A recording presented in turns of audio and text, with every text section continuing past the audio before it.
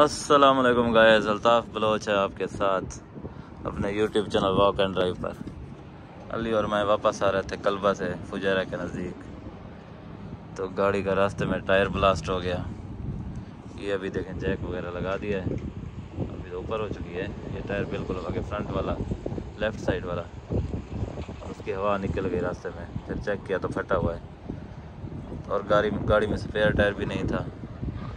इसलिए अभी अभी जलील का वेट हो रहा है, इधर अदनोक वाले पेट्रोल स्टेशन के साथ। इधर भी कोई दुकान, शॉप वगैरह नहीं है टायर की।